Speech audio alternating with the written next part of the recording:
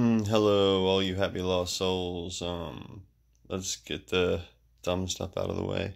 Um, subscribe if you like. If you don't, feel free to comment. Um, I do forgive those um, who I not gotten back to in the comment section. I haven't looked at it in a long time. Very very busy. Um, this is just a quick video on really a single piece of the collection. Um, is kind of chronologically fits the last video I put up about the uh, the KGC possible connections. I don't want to get too deep into that. Um, if this is part of their uh, code or anything like that, these symbols um, they do match uh, pretty simplistic ancient uh, Masonic trail markers and, and things that the the original Masons um, that were actually practicing masonry um, and, and, were masters of their craft and, and got the free free pass to go anywhere to, to do their work and became Freemasons. Uh, and this is the Middle Ages, really, um, when all the crazy cathedrals across Europe were built and um, that that kind of stuff. But these uh, these symbols mean very basic things. Um, there also could be crude markers for um, precious ore um, these three dots especially. Um, but I want to get more into uh, the context. This piece pretty much um, was found when I was really starting to get into it, uh, researching the collection and starting to put the Native American artifacts together and then finding metals in the same area. Um, this um, this piece that I call uh, a map stone. Um, this I have no idea what it is. It could be more modern. It could be part of the KGC. I don't believe that really. I believe it has more to do with the mining activity, Native Americans and Native American sim, um, symbolism uh, and possible code that they were using. Um, but what I can tell you about it is about the size of a human heart. Um, the reason this probably would have got left behind. So this was found about 11, not that long ago, not about nine years ago, and it was found um, near a place we used to call the Island, um, back along the uh, Pennypack Trail. Um, and this place sits within a creek. It's not an island anymore. The creek has totally transformed um, itself around that area. Actually, it was colonials and probably Native Americans before that, and beavers prior to that, because these are remnants of old beaver dams and old fishing weirs that have kind of shaped the creek over time. But anyway, go out artifact hunting, um, usually the day or two after a flash flood or the creek washes out. It's a perfect time to find things. Uh, new layers of the deposit are brought to the surface. Um, washouts along banks can expose things that are actually intact and, and in this case that's what happened. This um a tree that wasn't near the creek that was on high ground but slowly as the bank is getting eaten away by the flooding and the erosion has now its roots exposed hanging out of the creek bank.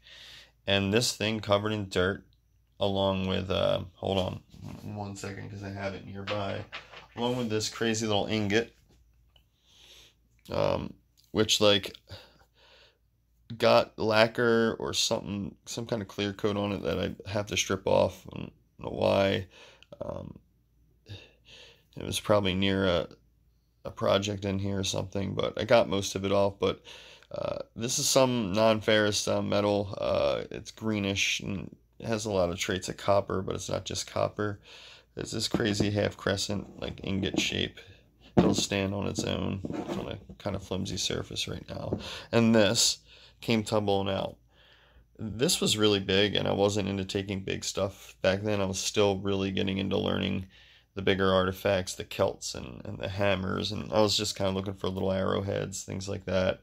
Mainly fishing, going there with a girlfriend at the time, and um, still my friend. Uh, she goes on a lot of hunts with me. She has parts of the collection with her as well. But this washed out and it had tons of sparkle, and you can see that right now. uh, in it. And uh, this distinct weird shape. We just saw little craters and stuff on top. We thought that was just part of the, part of the rock in itself.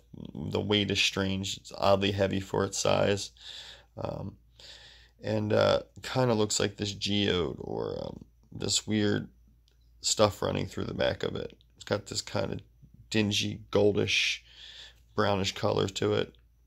And then you get some bright gold coloring in there. Um, obviously, these parts, if you can look closely, they're sharp and distinct, and they have distinct points at each end. This is made by a very sharp chisel uh, metal tool.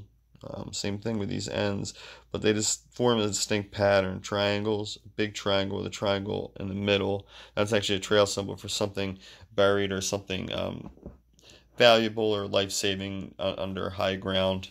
Uh, these three dots in, in, in, trail code mean running water or three points along running water. You see there's a triangulation here with these little dots and the big one in the middle.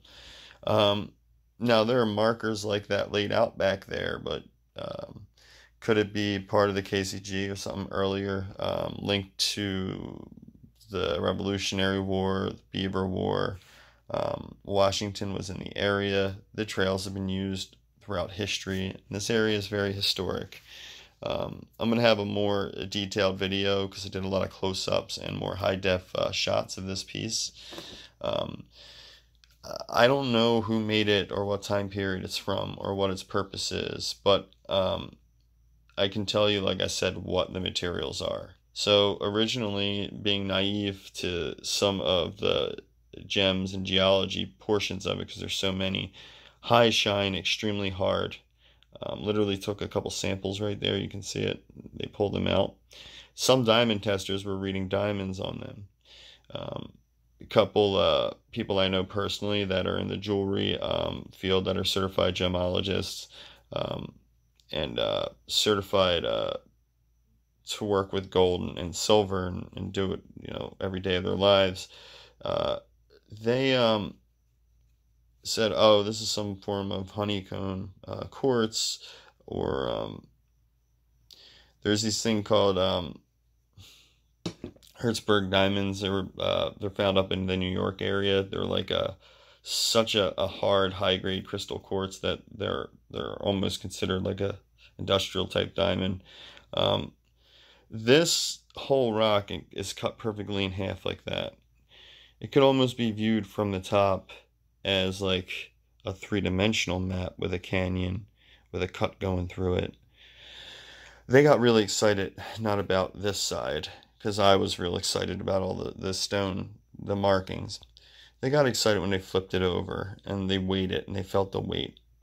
But they wouldn't say why they're excited. the jewelers, the gemologists, um, they're more acquaintances than friends, so they're kind of business people more so. Um, they were uh, not giving up their cards about it. They just kept asking me, "Where did you find this? Where did you find this?"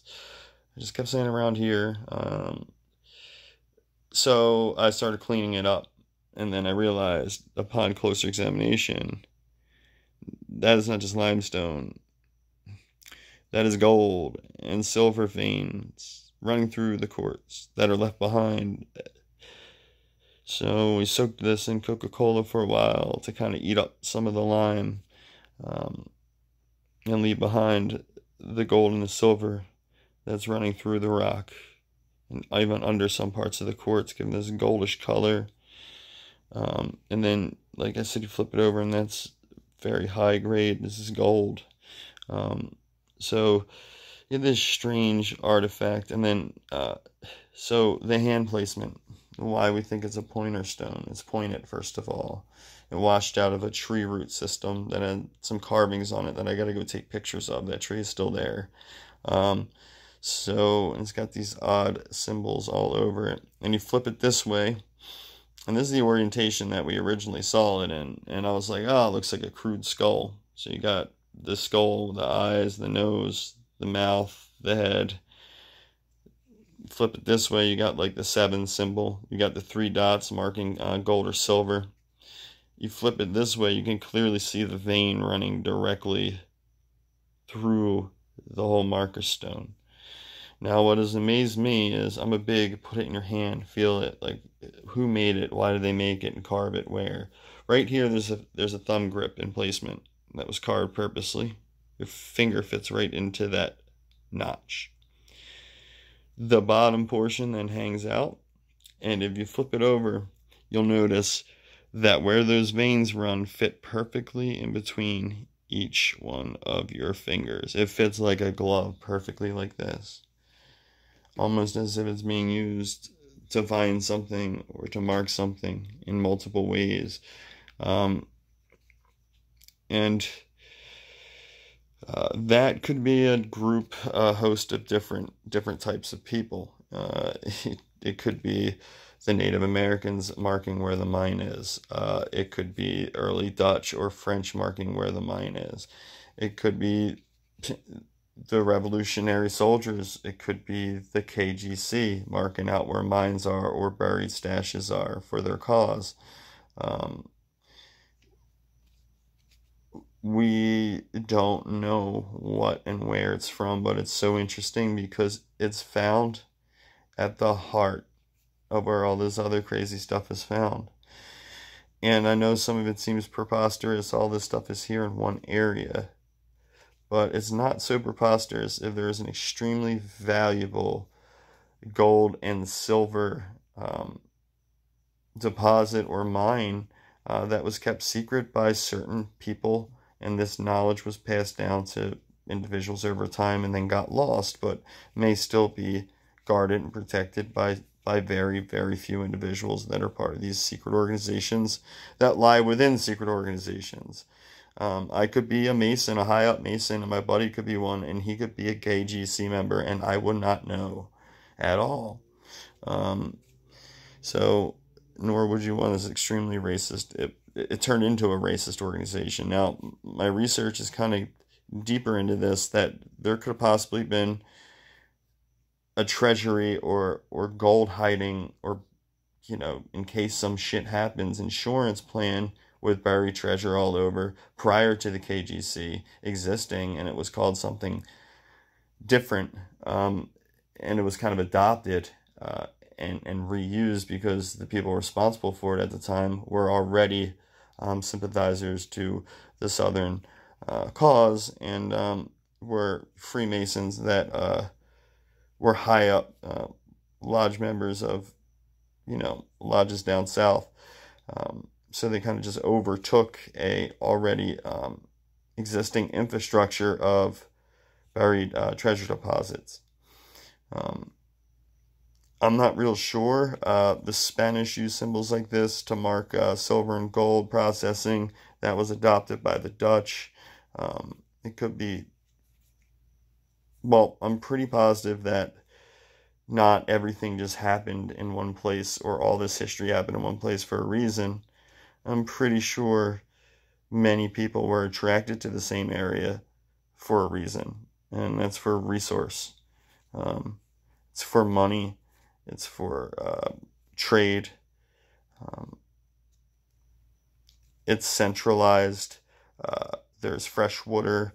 It's rich in um, back then shad, eel, um, trout, um, catfish, um, and chub, um, sunfish. So um, there were even gar up here. Um, there were bear, deer, moose in the area. Um, all kinds of game. There was huge deposits of agate and soapstone and limestone that are exposed. Uh, there's silver and obviously gold and copper in the area.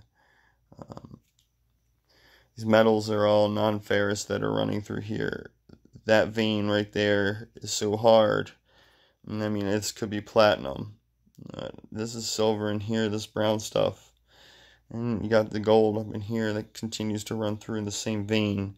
Um, the soapstone cuts through here, and you're literally seeing the vein exposed through one piece, and it's heart shaped and it was worked and it is literally shaped to fit in your hand just like that with your fingers all in the notches and that's just um, It's just crazy.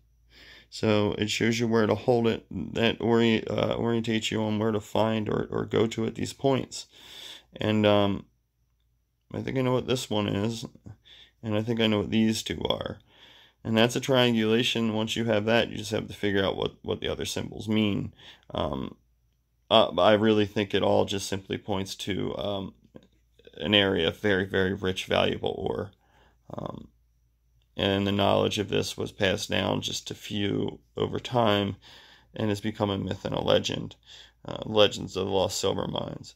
Uh, but this is the strangest uh, effigy stone, map stone, pointer stone that I've ever found, and um, clearly uh, distinguishable from other uh, Native American um, based effigy stones that I have um, and bigger art type uh, pieces in the fact that these marks were all made by a highly sharpened steel tool. I'm not saying Native Americans not have access to that, but it, it would it would be more likely um, with this coding and this uh, Masonic symbols on here that it is associated to um, some faction of um, older European um, interest uh, or something related to a more modern um, time like the KGC.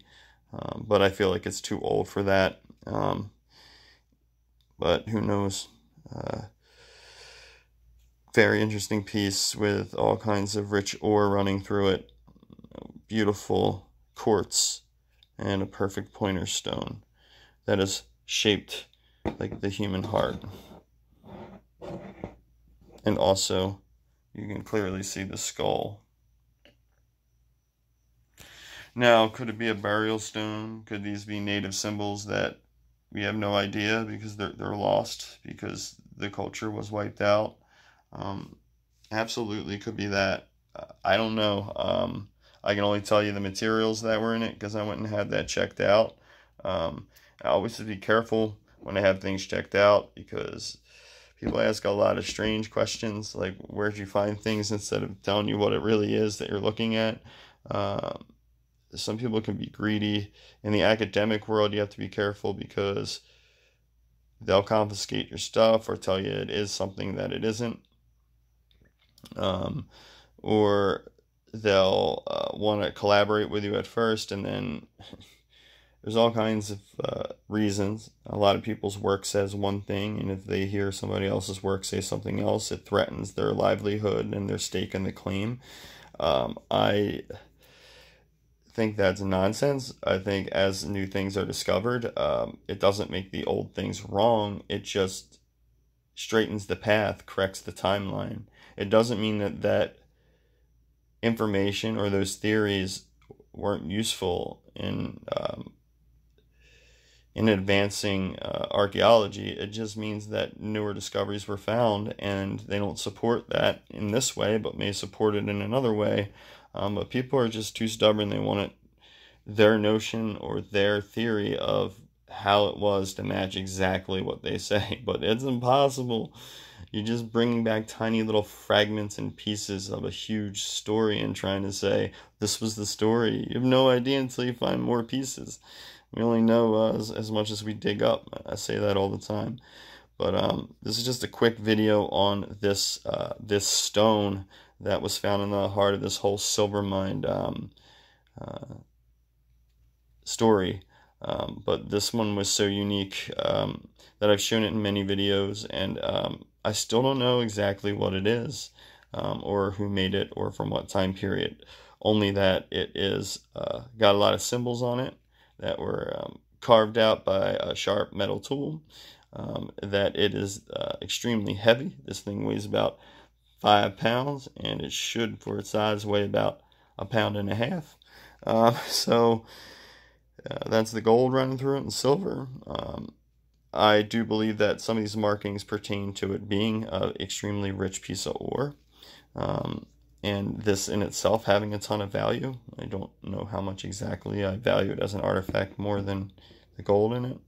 Um, and uh, don't go uh, trying to dig up on these lands. Uh, you will get arrested quickly. Um, it's uh, you don't do that. It's a natural reserve. Um, so, um, right, and um, this could uh, just be a Native American uh, grave good. Um, I, I don't know, um, but finding it with the, the copper ingot. Um,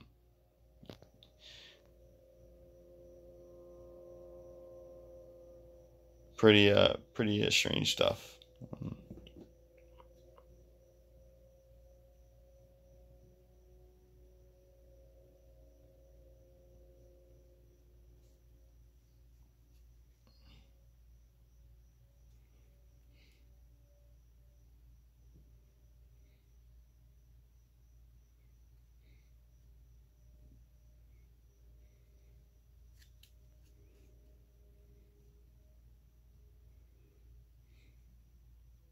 Three-dimensional map it very well could be.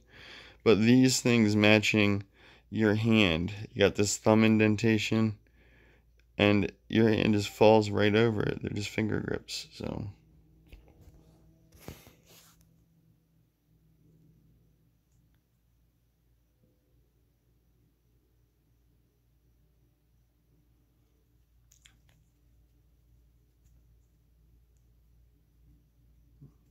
I just want to say thanks again, everybody, and um, stay tuned for the next video. It'll probably be a more uh, detailed video with this rock in it some more, but uh, thanks again, and sub uh, subscribe if you haven't, or if you don't want to, don't. Um, like if you don't, uh, then don't like, but like I, like I always say, um, just stay happy, stay safe, um, and I just hope um, we find some answers out, just sharing some cool stuff.